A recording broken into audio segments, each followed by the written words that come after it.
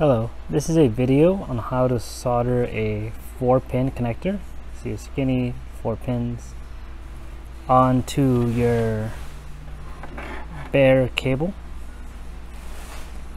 So the first thing to do is actually remove the housing, so put your left hand around the black end, and with your right hand actually start twisting the metal housing.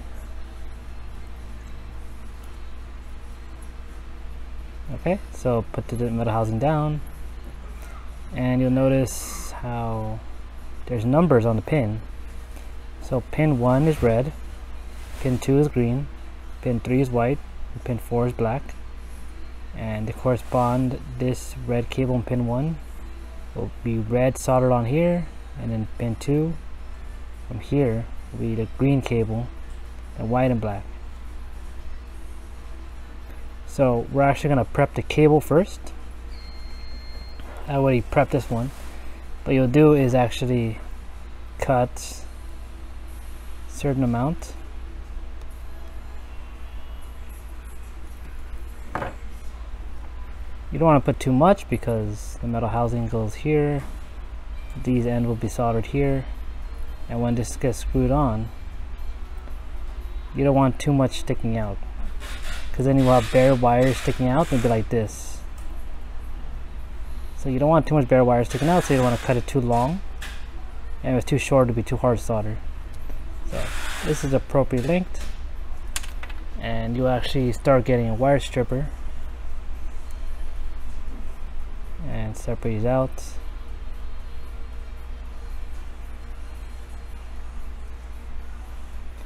And actually start stripping these cables.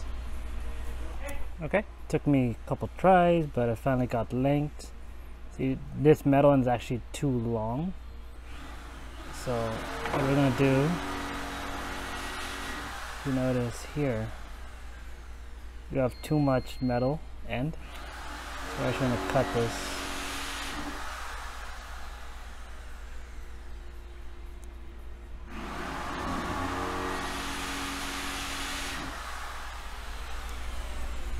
okay? So we're actually gonna tin the cable first. So I used this block with clamps on it. We're gonna put solder on all four of the cables to help stick together. Okay? So I have my soldering iron. I'm actually gonna put enough solder on this cable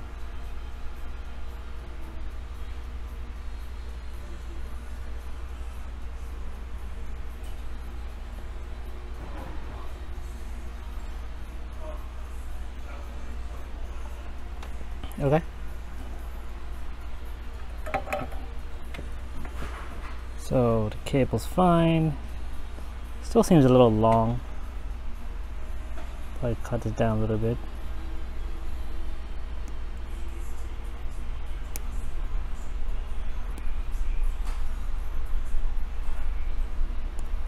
Okay.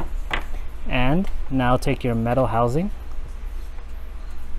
what you're going to be doing is get a mini screwdriver. And you're actually gonna loosen up these screws. You don't have to loosen all the way but just enough where you don't see the screw on the other end. So loosen this one. See most of the way out but more importantly it could actually open up. And make sure it puts on here you forget to put it on here, you want to unsolder and do this all over again. So hold down, pull the cable through, twist on. Careful the cables don't just stick through the outer end. All the way in, touch the housing on. Next, we're gonna get the four pin soldered on. So I tin this as well. So I'm gonna put solder on all these pins. So now take your soldering iron and put solder on this end. You can see I put a little bit extra. So you do need something to hold on to this while doing it. It'll be kind of hard without some mechanism to actually hold on to the 5 pin.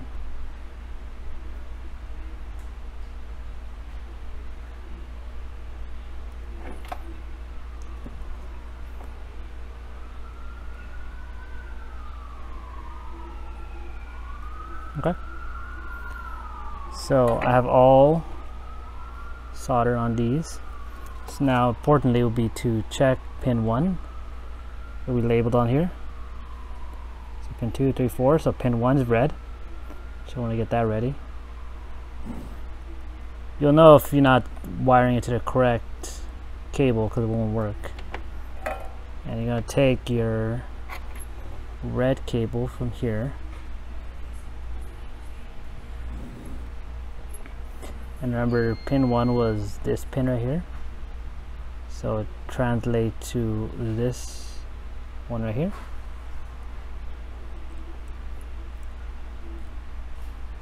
So I'll make sure it's soldered on. Okay. So I got the first one. Next pin 2 is green. That's signal positive so wrap these around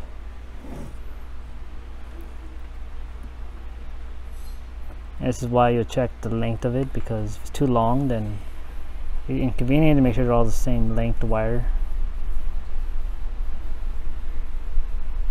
Okay. So I have the red and green. Make sure they don't cross because once they start crossing this something will short and will not work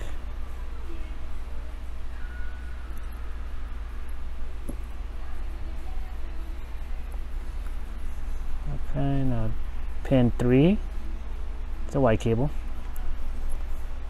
So pin 3 here, a white cable. And then my last one is a black cable, pin 4.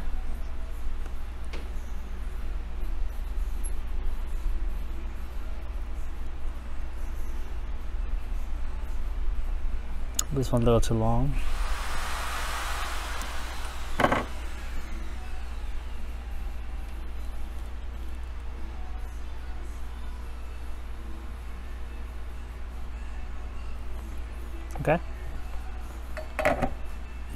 So you can see this is where you check. Pin 1 it's red.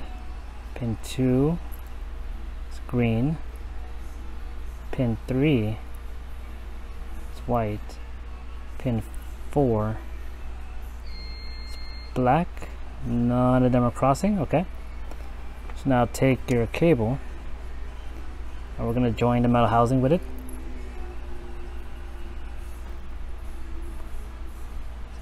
Maybe bend this a little bit make sure it's straight. If you're forcing it, you're doing it wrong, so you're just gonna make sure it's centered and then start twisting it on.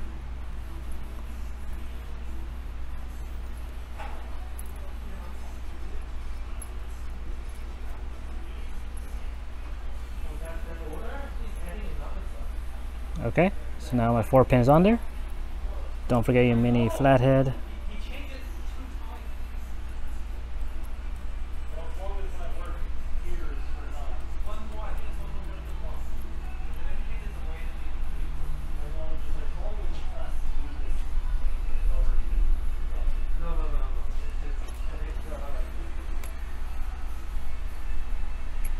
Make sure it's tight.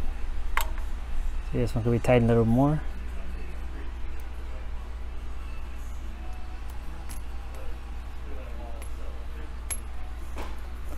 See, tight, tight.